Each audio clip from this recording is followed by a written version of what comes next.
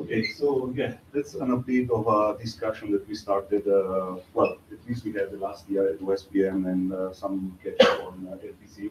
And it's about uh, clamping the utilization to achieve some kind of a, uh, possible or to cause some kind of interesting use cases. So I will have just a few slides to give uh, an introduction of what is uh, the problem that we are trying to solve. And uh, another couple of slides to give a status update on, just to recall a little bit what is the overall design idea.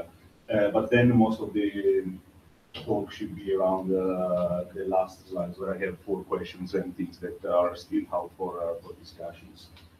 Uh, So just bear with me for the first uh, few slides to give a- an overview.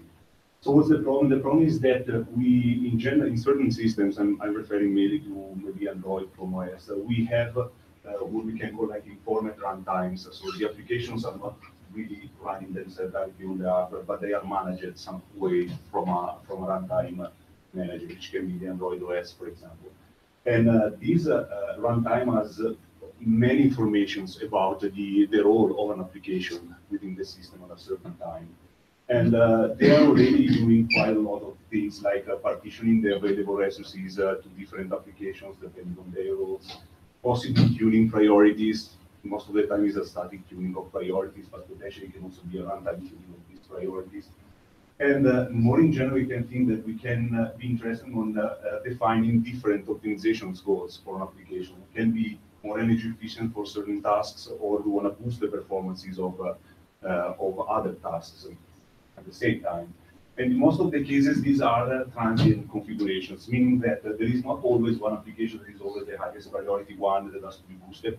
But this application change. For example, in Android, the application which is in front of you at this, uh, uh, in, in every moment is the application that needs to be boosted that gives uh, a user feedback on uh, interactive RESTs and so on. So we want we don't want necessarily to be energy efficient for that specific application. Why we want to do certain other optimization for other applications. And these things can change at runtime. Uh, there are other uh, things like uh, there are asynchronous events that can happen on a system, like uh, we are touching the screen, so we generate a touch boost event, means that the user is actually interacting on the application. So in this case, we want to be even more aggressive on maybe boosting, uh, boosting uh, the specific tasks of these applications. So in general, in, in the kernel, we have quite effective mechanism. The scheduler is quite is quite good. There- There are mechanisms that can be supported by feeding uh, or providing more context-aware information about what the task is really doing in a, in a system. And what we want to try to do is uh, uh, identify a new possible new uh, API to feed this information into the, the scheduler to support these uh, decisions. And mainly we are targeting two things, which is like OPP selection, so better selecting the frequency for the tasks that are running now, or a task placement strategy. It can be different, the task placement strategy, depending on what is the role of a task in, uh, in the system. Uh, so what can be a possible solution? Okay, since we want to be less invasive in the kernel, try to use what is already there. We see that utilization is a signal already used for many of these things. So we use it for OPP selection, uh, usually to select the minimum frequency, which is uh, good enough to, to run the set of runnable tasks on a, on a CPU. And uh, it's not in mainline, but when we have the energy aware scheduler, so in product code lines, uh, the energy aware scheduler use utilization also to somehow de- define where a task should, uh, should, should run. Let's say that a big task is more likely on a big little system to run on a big CPU. It's better to run it there because we have capacity. A little task can be executed on a, on a little CPU. So we have capacity awareness, let's say.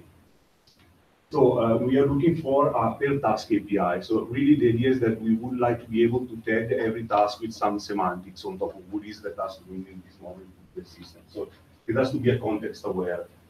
Context aware means that depending on the state of the task, we can change this set of attributes for, for a task.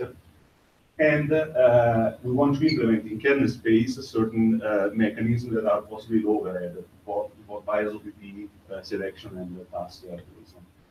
So one possible way out of this uh, problem is to apply a sort of clamping uh, mechanism on top of the utilization signal, and we detail after what I mean for that, and then aggregate the clamp the utilization of every task to, for example, support the, uh, the selection or better selection of the OPP for CPU. So what we what we discussed so far is uh, I mean, the discussion is going on for probably a couple of years. Uh, the first implementation, uh, it was an RFC that we posted on LKML a couple of years ago, and what is, is what we call SchedTune, and these are the solutions currently used in, uh, in Android systems. Uh, the main thing is that it's based on, on, on the concept of a margin, uh, which is computed proportionally to a boost value that we assign to every task.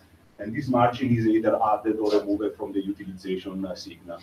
So this, uh, uh, this proposal is not going to fly on mainline for many different reasons. Uh, one of the reasons is that it's based on a dedicated C group controller, which has limits on the number of C groups you can create, which is not really fitting into the C group idea. But uh, the other point was uh, also that this concept of margin is not really intuitive. Uh, so it seems to be a little bit tricky to really understand what is doing in, in the system. And so there was a proposal I think from, uh, yeah, uh, it was from, from Paul Turner uh, when we discussed it the first time at LPC. we should try to use instead a clamping mechanism where we set exactly what is the minimum frequency required for a task, for example, or the maximum frequency required for a task. That was the rough idea. And we developed this, this idea. So there was another posting last year based on a uh, okay, uh, another good point is that the CPU controller is already there in C groups and is already in charge of uh, allocating bandwidth different tasks. So why not trying to extend this controller with some more semantics on top to, to have a single point where we actually define the constraints for a, for a CPU terms of.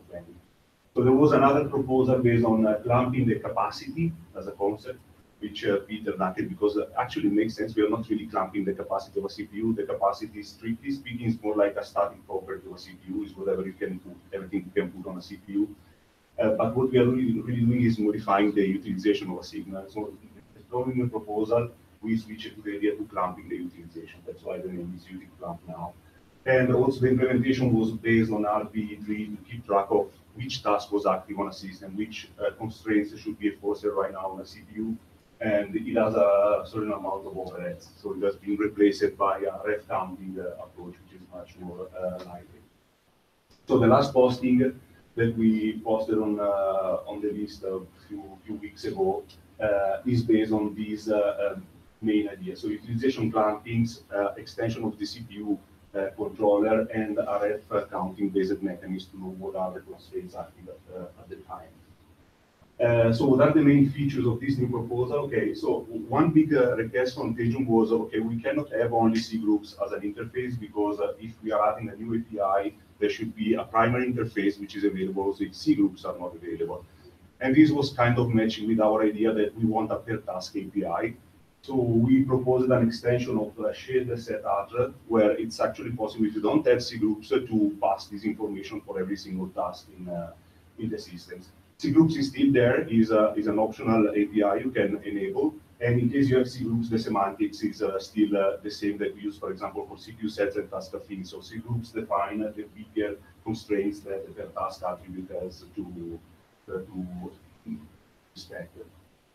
So we have an unlimited number of C groups. That's true. So we get, that was the limitation of the first proposal. You can create as many C groups as you want. What is limited instead is the number of different clamp values that you can have and uh, I will tell something more uh, actually. So why we have a limited number of clamping value? Because in real uh, in real usages, we don't really see the needs to clamp for an infinite number of uh, of possible uh, uh, value, just because there are no applications. And in general, since we are clamping utilization, this is a finite signal, so you can always find a sensible way to discretize this signal and make it a finite number of possible different values. Uh, and so we come out with an idea to allow a little bit of flexibility. So from user space, you can potentially use whatever value you want, but then these values are mapped into a finite numbers of value in, uh, in kernel space. And finally, uh, the support, differently from the first SchedTune, is now uh, for both fair and RT tasks. So it applies to both these uh, classes and gives some kind of benefits in terms of value control. For, for limited number uh, value, or you're matching that with the yeah, that's so not in this proposal. So in this proposal is a kconfig option, uh, which is probably good enough. But uh, one idea was okay, if we know what are the OPPs, we can clamp to the OPP values. That's another possible option. Or otherwise, usually if you really need to boost a task or clamp a task, you also think that likely you will need to boost in 10% steps. It doesn't really make sense probably to boost 11% or 9%. So there can be another finite discretization that can be done. So that is one of the points for the discussion. And so just an overview how this works. Basically, the idea is that uh, within the task structure, we have uh, these new sets of attributes that defines the minimum value uh, uh, or uh, and the maximum value we uh, we want to consider for the utilization of a specific task. This is the per task specific uh, definition of the uclamp uh, value that comes via the syscall uh, sched_setattr. If you have C group, you have a similar data structure here where you define the min and max value for all the tasks within a certain uh, groups. And uh, if you have C groups, basically a task is mapped to, to a group. So a task can see what its own value and the value enforced by the C group in which uh, in which it is.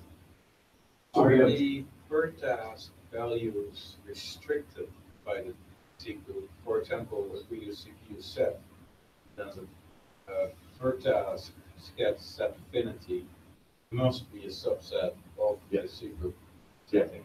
Is that here as well? Yeah, it's working that way, not in the sense that we enforce this value. So this value here can be whatever. When we use the value, we do this a step, basically. So we have a pair uh, value, a pair task value, we have a per secret value. When we enqueue the task, we have basically to define what is the value that we use right now for that task. So we do an aggregation at this uh, stage and we figure out what is uh, the clamp value that we have to set now for, for that task. So And this is restricted. Yeah, so if you directly make it effective, the, the task script values, um, I think you can get away with the plus one, do away with the plus one. Because you, you have the, the array. So, yeah, the- so the last one is the dimension of this uh, array, basically, so what what is this array? So this array is used, or this one, this is the per CPU, so it's in the FASTA. So for every, for every possible different clamp value, we have an entry here. So let's say that you have only one uh, and that is setting a minimum clamp value of ten percent, so you will have an entry here. This is the value for the, for the, for that task group. Then there are tasks that are not in that task groups, and so by definition, all the tasks that are not in a task group, they are in the root uh, task group. Or they are, they don't have a specifically assigned uh, task value. So these tasks are tracked by the first entry. That's the reason of the zero. It means that all the algorithms that we use, it will work independent from knowing whether the task is in a task group or not. But if you, if you do it the other way around and have lamp values always set, if there is a root setting, you don't need the, the zero. Uh, So you mean by changing this value? If, if you set a root value, change the setting of every single task. Yeah. Maybe, maybe that's, that's possible. It's, yeah, it's actually one of the things that we have to see. Uh, I think that right now, one of the issues that I've kind of found is that since we have these two values and the way I use it now, when we include the task, we pick either one value or the other if both of these uh, frameworks are in place. So the per task and the C group. So you can have the case where a task is in a C group, which is, uh, let's say, boosting the task to fifty percent.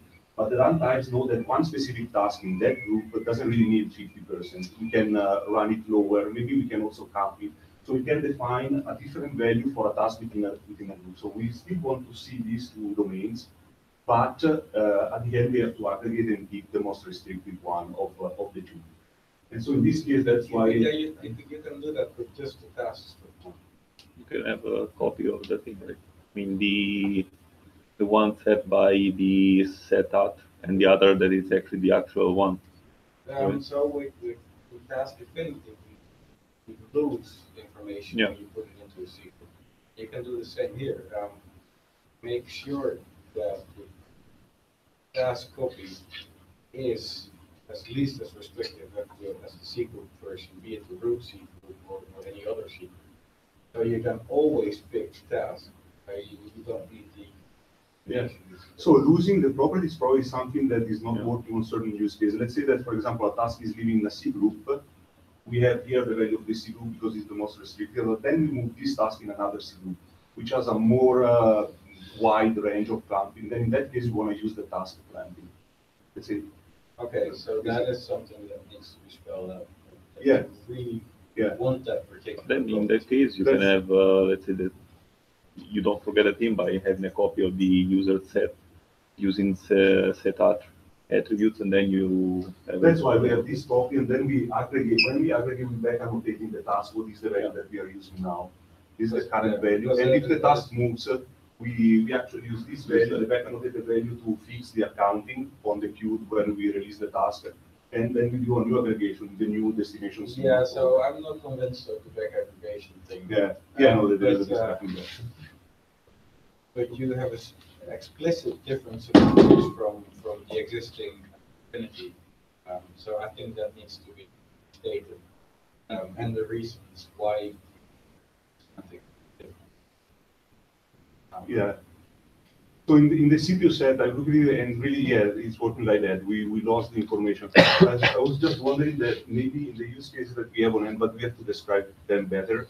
Uh, it's still valuable to keep the information there. And our use case, well, let's say a task is, uh, is, it's like, uh, it's like boosted, uh, fifty percent, right? And it's living in a C group where we clamp the utilization to ten because we want to slow down all these tasks.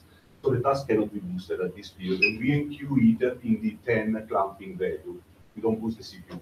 Then this task becomes like the top app in the case of Android. So we move it in a C group where we remove these constraints, much more violent. Then in this case, we wanna boost the task ten. So we, we wanna keep both informations and aggregate them uh, in queue time. This is the only time where we can really pick the decision.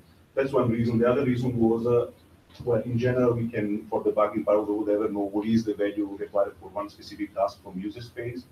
This is under more control of the, it's both under control of user space, but this is maybe runtime enforced constraints, and this is something that the runtime is specifically giving for one task, so maybe that can be still value in but keeping this. Patrick, you just said uh, you move it into a foreground or top app. Isn't foreground or top app also like related to a task group then? Which can Yes. have the other data?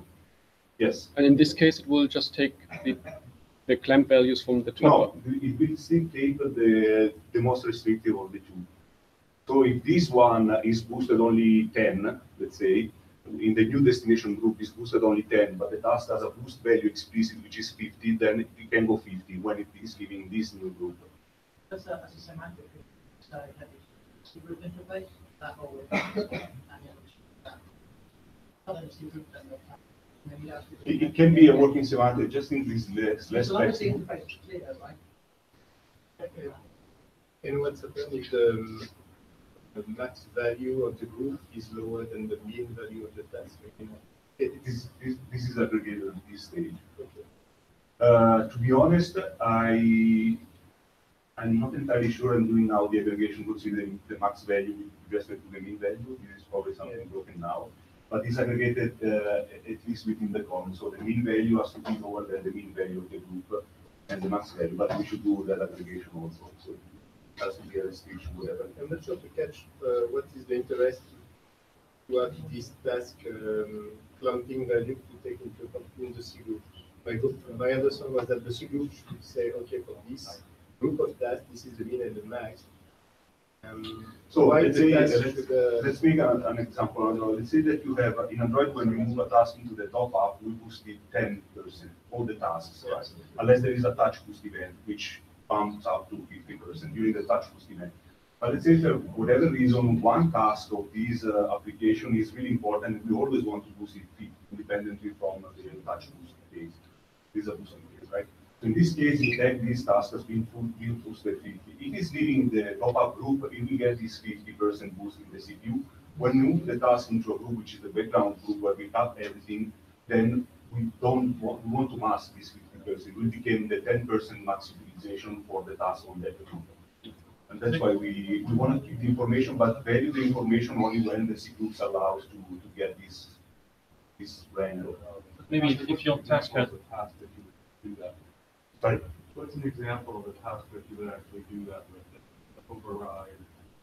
So I think that we have mainly use cases of where we wanna not boost the tasks. This was something in the past where uh, we are living in a, in a, in a top-app uh, group uh, where the boost value stand for everything, but there are certain maybe background tasks that we never want to boost them because they are really background tasks. So we wanna clamp them to be zero. And if only one of these tasks is running on the CPU, we don't want to bump the, the frequency ten percent just because it's a top-app task. It's a top-app task, but it has a, a task-specific constraint, which is I can always run it in new. in this case, would it be easier? Yeah, wh- Why are they in the top app? Yeah. Background? Because, well, that's one of the model that, this depends on how Android actually classify tasks, and this is also something that we are probably going to extend or change. But in general, the, the idea is that right now we map uh, uh, all the tasks of an application within, let's say, a group to make it simple. So an application has only one process.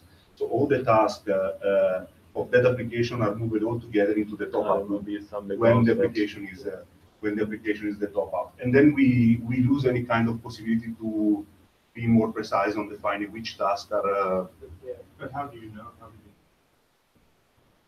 This is defined by the runtime. So if, When you if have intelligence to do that, also have. But uh, in this case, configure more C group to show both. more secure. The activity manager doesn't know down to the task level. And There are, there are few special ones, and uh, I mean, it's part of the discussion we're doing. So, so the, the idea is that potentially uh, it's, it's difficult to expose API to user space, right? But potentially, if you expose API, there are nice level API where you allow an application to say, okay, these tasks are not really important for me, are background activity, whatever. You can expose such an API to user space, and the application knows that, for example, there is some uh, performance monitoring application that I don't really care to run at maximum speed or whatever. So it can take this application as not important and, oh, sorry. So you're saying the application can voluntarily. Potentially, the application can voluntarily degrade some tasks to background activities and release, uh, that's one of the use cases that can be captured with uh, C groups. So no one will call that.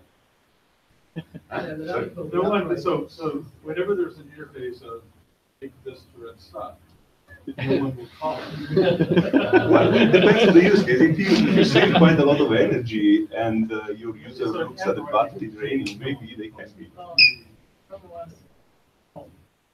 Yeah, And there's a bunch of threads, Okay. and some of them like in background.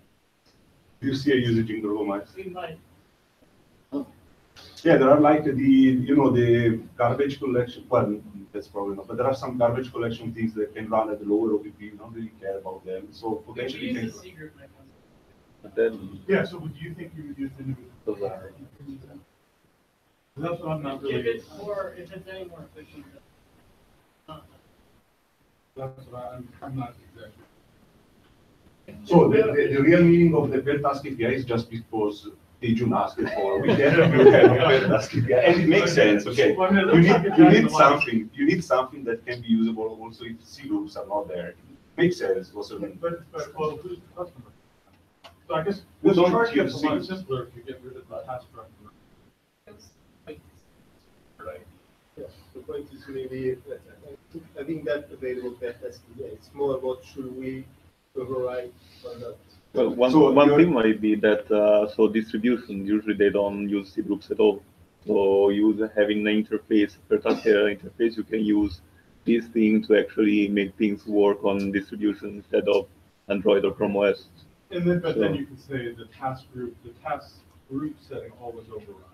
Overall override. Yeah. Instead of doing- Yeah, that's a matter of semantics, whatever we wanna do, so we can say, okay, we use this value, we don't care about this one, we don't have this aggregation, basically, that's just a filter, we keep this one, it is in a group. Fine, I mean, that's, Mm. that's the way we can define the semantics of, of it. But I really think that we should keep this one here, because otherwise, I mean, it's difficult to get it in. Uh, Yeah. If if we need it, uh, if we No, need well, think about it, One- it's one more actually- question. So you, what do you, uh, Yeah. uh, Yeah. uh, Yeah, so, uh, well, here there is one usage which is for frequency driving, for example.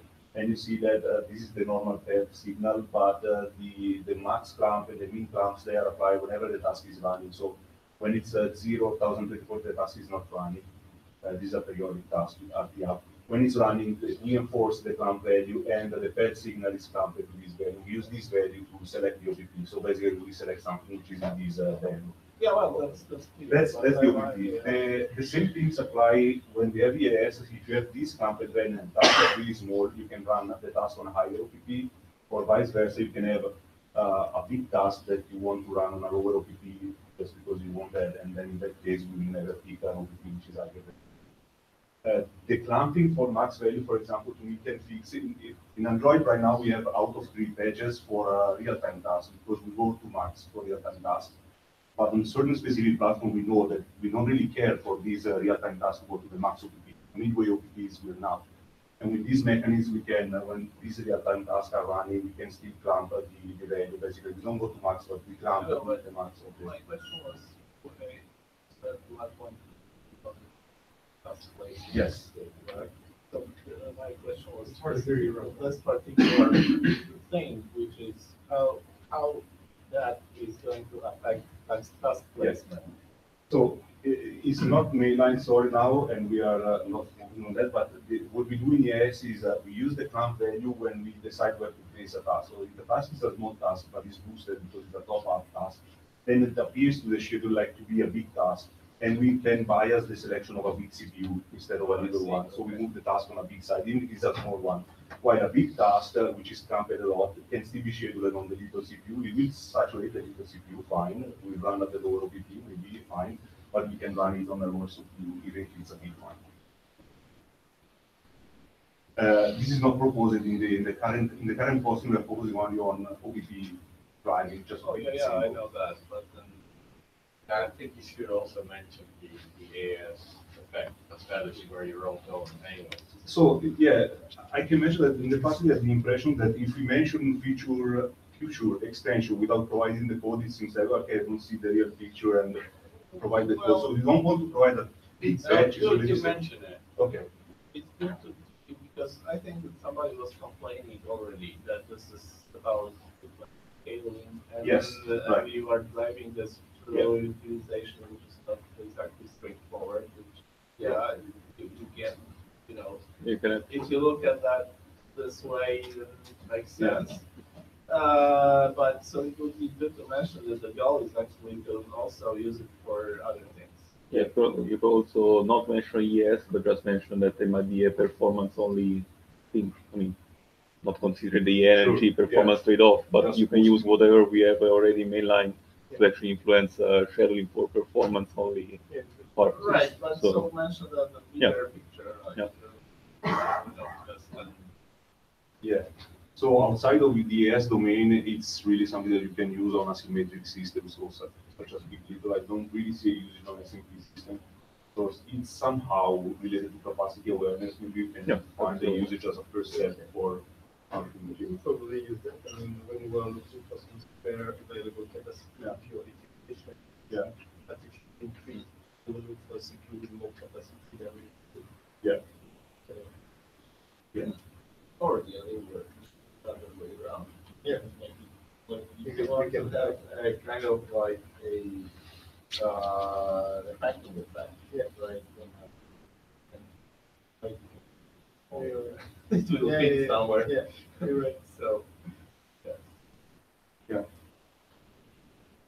So, yeah, we we already had a little bit of discussion, but there was a few points I would like to call out explicitly. Yeah.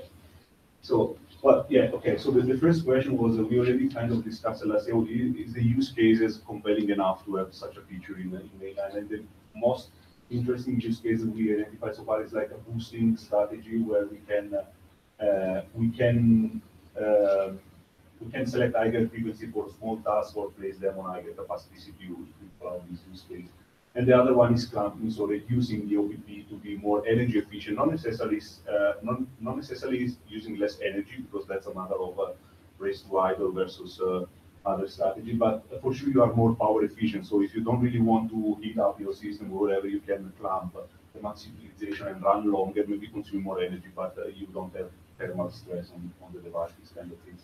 And that's a special case is a real-time task uh, clamping uh, in a user configured uh, way. Uh, so are these use cases like compelling enough? We have to work on defining more or describing better use case. There is a description is linked uh, here. Uh, there is a better description on the LKML about these two use cases. If people can review them and see if they make sense or if you should add other uh, better details, it would be interesting and useful. so I would mention the, uh, the, um, the task placement case, which, is- which makes the, because you, you, you, you want to make, uh, make the point of using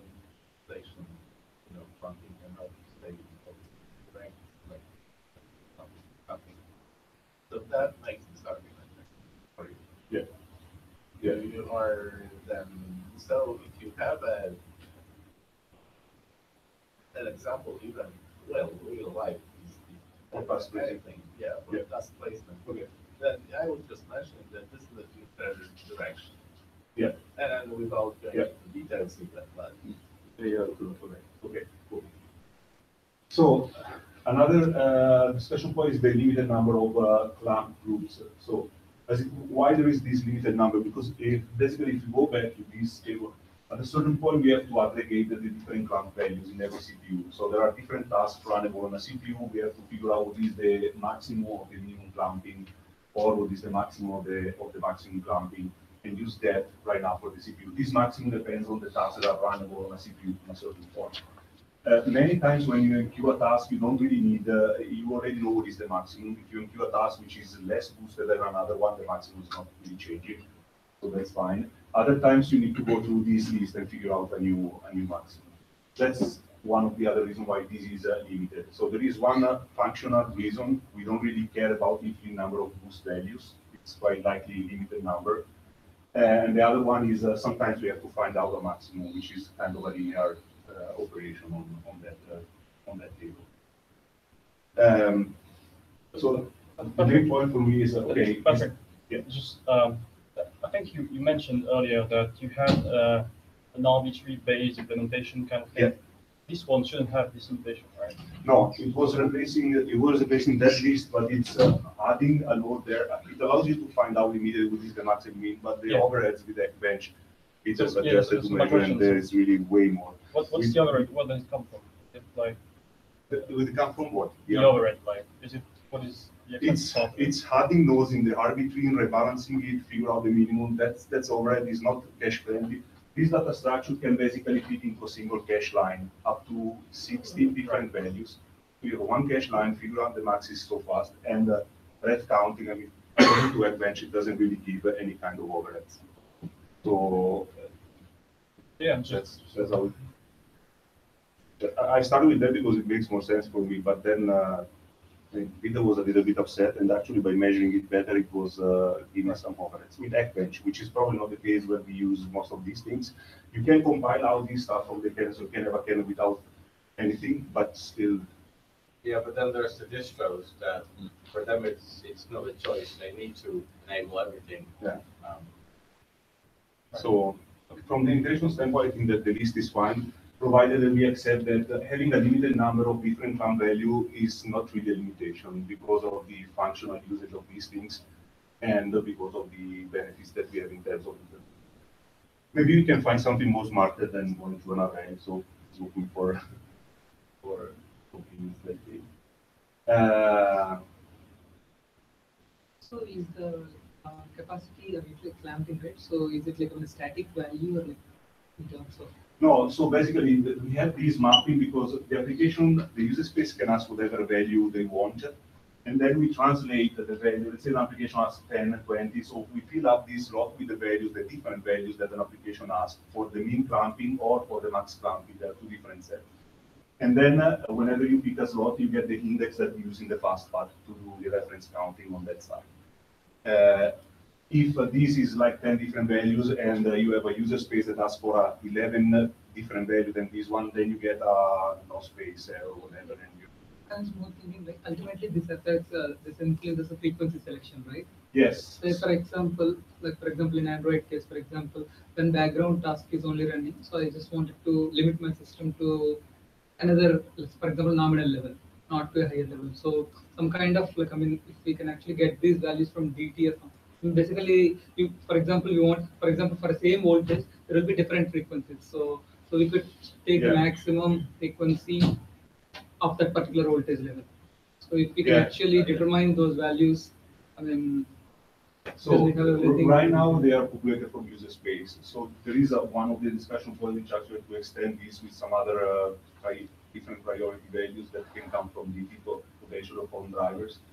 Uh, so uh, everything we put in here, so right now we give a simple implementation to understand the concept, but uh, I mean, we can extend it to whatever other use, if there are use cases that makes them usable. Yeah, I don't think that this will solve that, probably that, you're talking about pruning, uh, OPPs that Yeah, for example, for example, I wanted to uh, keep the system at nominal, but at the highest frequency corresponding to Yeah. that voltage. Because if arbitrarily if I said five twelve or two fifty six lamp level, I don't know where it maps to. So so these are, these are zero slot at the, at the bottom, the plus one slot, this is applied system wide. And- And uh, potentially if you have a kernel space API where a DTE pass or whatever can read this value, can stick a value here which is uh, below thousand twenty-four, and you will never pick this uh, highest OPP for that platform. So sort of, it's not really including OPPs, but if your OPPs are uh, scaled to be thousand twenty-four, the maximum one, then automatically to put eight hundred, you will cut away certain OPPs. Can be dynamic though. Huh? Can be dynamic though.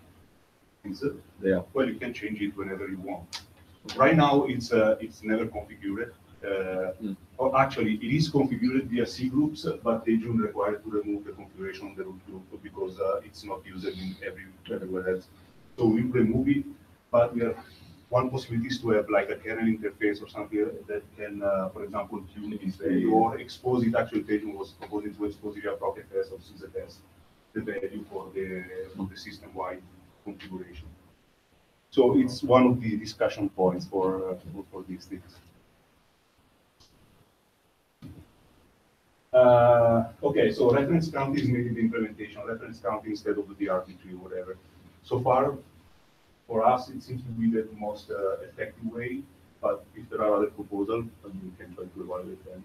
It seems to be quite effective right now, but five minutes. Five minutes. it's kind of.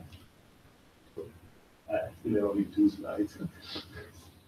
Yeah, okay, so that's the most, so that's, so sched_setattr, can we extend this syscall or is a dog whatever? And the way we extended it right now is that we, uh, we proposed to add a couple of uh, attributes which are mean utilization and max utilization. So the main complaint is that it's too implementation specific because it's utilization, the naming, and because of the scale, which is thousand twenty-four. So the scale probably can be fixed by restricting it to something more generic, like a percentage, 0, 100%. That's really generic enough. The name utilization still is the name utilization, so. Yeah, I'm, I'm fine with that. I mean, it is something that exists in scheduling. Well, it's fairly well defined and we use it for, for the. Um, that was, that's. That for difference, except for people that can't do math. Yeah, exactly, so. Well, it was not a complaint uh, from, uh, um, so the complaint from Tejun was that uh, uh, we are using util mean and we are, in the current implementation, we are capping frequency. So he was proposing to set freq mean and freq max. That was the main thing. Then I added want utilization because there are these other use cases like task space or whatever. So we really want something more generic, which is not frequency platform dependent. Uh, about using utilization on some other term. Also, the utilization is a task property as we have it, whereas frequency is not, but that's a CPU. Property. Yeah. And not necessarily a property. So, yeah. but- So you are fine with utilization in this scale or thousand twenty-four? Well, I, I always myself prefer power of two. Okay. However, I'm, a- I'm, I'm a weird human. I don't know, it is, I think that the main argument here is a user space interface. This has to be potentially generic. If this thousand twenty-four is too much Linux kernel specific, it would be a Linux feature anyway. But if it's too much Linux kernel specific, and someone is encoding application, maybe that they can run on another operating system that has a similar feature, maybe thousand twenty-four is too much. uh, Then Linux you have a layer to translate. How do you expect it to be interface to? I mean, user space can always scale it if they have to. Why do? Because people If if they're gonna use an application or something, I, that here, but here. Right, yeah, Yeah, so, so whatever. Okay. Mm. So thousand twenty-four. Mm. Fine. Yeah, so, so, so TJ went around with secret printing and and changed everything to zero to a hundred. I mean, he's a hundred dash rule, but yeah, it's, it's his thing, I don't know. What about this other proposal to not use explicit attributes like min and max utilization, but uh, we use, we already have sched runtime and sched period. If, uh, for deadline, they are used right now only for deadline. But that, that, that only gives you one of the two values. Uh, what do you mean one of the two? Well, you need two utilization measures, you need a min and a max. Yeah, no, this, this useful is, in any way, is, uh, yeah, you have to do, yeah, you have to call it two times. Yes, I. No. Okay, the interesting problem of this one is that you can also fold in uh, the, the delta flux. Yeah, no, you don't want that either. That's, that's too much specific. This is in kernel space, I mean, it's not, uh, not, but in kernel space, if, if someone tells you runtime uh, 10 and period 100, or let's say 100 and 1000. So 100 milliseconds is over 1000 is 10% utilization, but 100 millisecond with a 32 millisecond alpha is a very big task. So we can potentially translate into the, uh, utilization is 80%. So we can Need a compare weird way compare of what is the real getting there, utilization. Little weird way it would get in to the, to the value we want to set, I mean, that to do. But that, that, um, then the user of the interface needs to know these stuff. Yeah, These right, law- that's more yeah. complicated. If you take the original. spec, Yeah. Yeah. now you can put that in. Okay, fine, so what we have is already okay. Uh, Patrick, another thing, when you, when you now don't want to mix uh, the per task and per task group thing, when you want to keep them separate, what do you do in a setup where you have group support and people are calling this interface per task? Yeah, that's what I said that we do Yeah, the so- aggregation. Yeah, we, we need some semantic, and the existing semantic, of course, examples, if you affinities, is that the C group, um, clamps or, or overrides the task in such that it loses.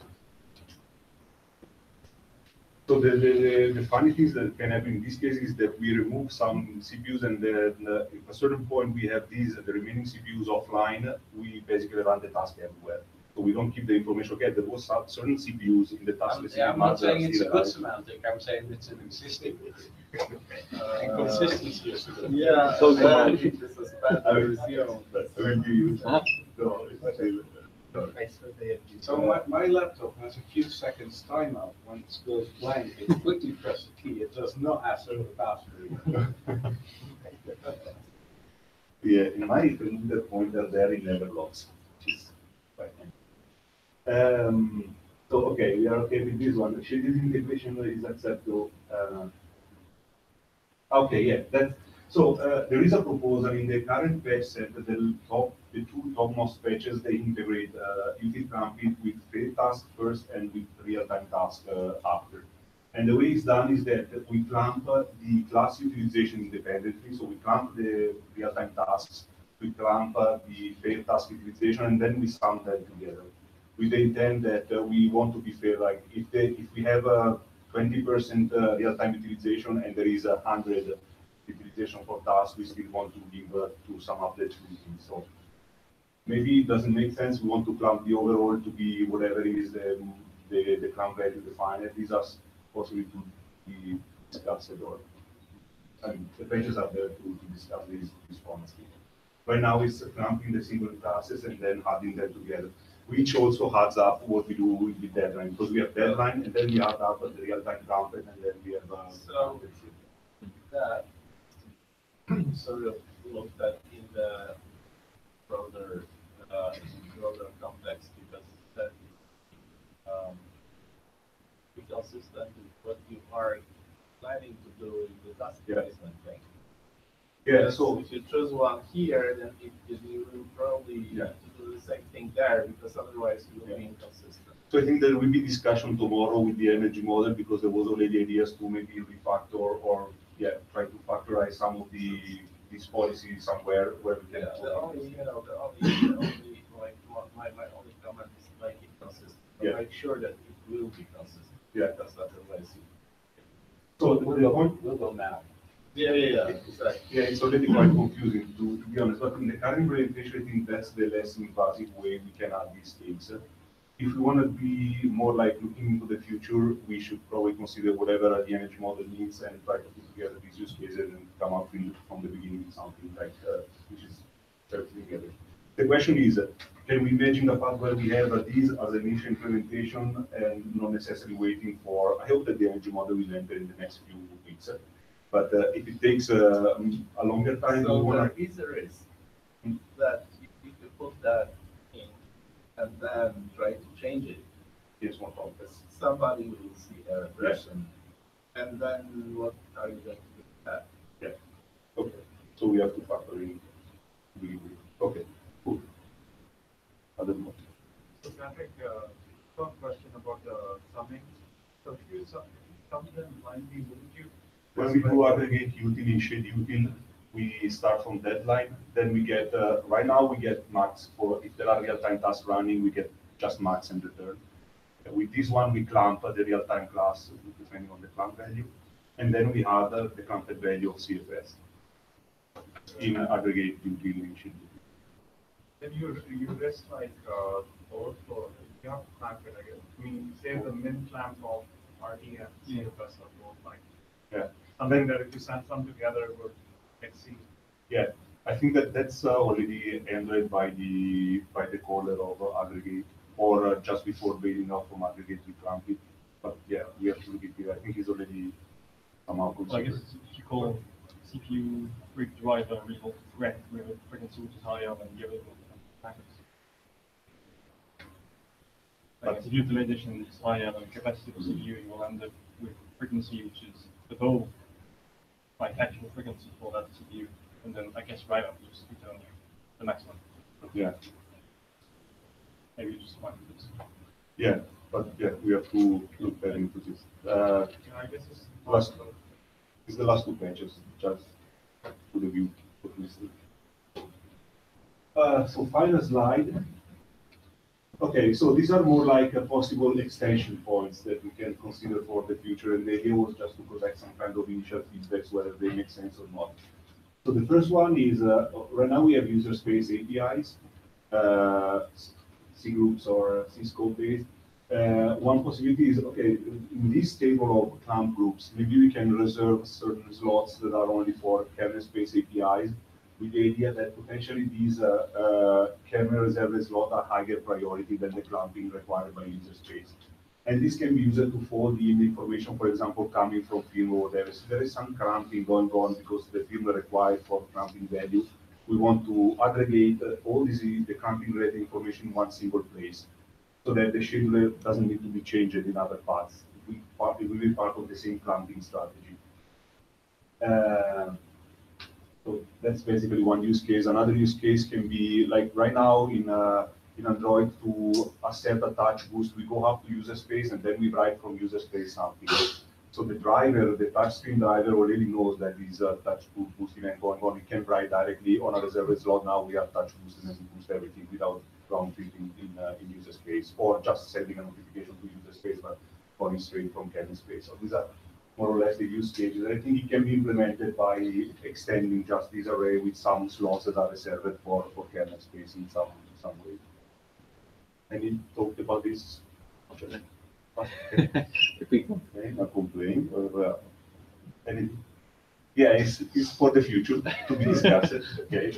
Uh, and that's in- another interesting thing, I think, because we have other use cases in Android where we, we go up to user space, we set a value, and then we, we arm a timer, and we go, uh, after a timeout, and we reset the value, like a booster value. So uh, a semantics where when we enqueue a task, we had the reference counting, but then we harm a timer or some kind of a mechanism in kernel space that release uh, this reference counting from kernel space without necessarily waking up something. This will allow, for example, to keep a, a boost value for a certain amount of time, maybe configurable somehow, and do everything in kernel space. Uh, that's another idea. Uh, we discuss in the future. And the other one, uh, okay, that's even more controversial in general. So right now, it's timeout. but yeah, basically, right now we, we optimize for two Maybe it can be useful to have something that allows to say, okay, for certain tasks we want to be more energy efficient and use energy deep and whatever, uh, instead of going for the standard path that we have in the kernel. So maybe try to add uh, some additional attributes apart from util min and util max, some other attributes that allow to say, okay, this task has to be energy uh, optimized aggressively, or you don't care about energy, just go for for the for the performances. Uh, but yeah, again, we have uh, something similar in Android that is not gonna fly ever in mainline as it is right now. We don't even know if you really need it because possibly we can solve the same issues in other classes for many use cases like that and whatever. But maybe there are still some use cases that can benefit from such an API, so possibly in the future we'll discuss about, or we can propose something about that. Okay. Yeah, that's, that's all about and that's. all. Yeah, the, the, the, the clamp API, sorry. Um, I was just saying the clamp API would probably also help there because you, if you min clamp, then you have the chance of going about the tipping point, right? Then I guess that would also help. Why? Tipping point, this really depends on the utilization of the signals. Tipping point right now in the latest, the latest energy, uh, the web patches, besides whether you You can go noise noise, right? Using this and disable EAS by setting some value actually.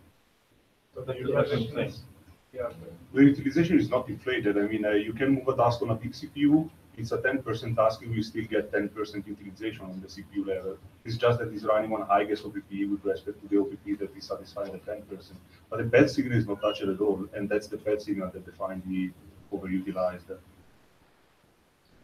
So I don't see why we, we- we can discuss better. Over food. Over food, yeah. Okay, Right, thank you. so thank you.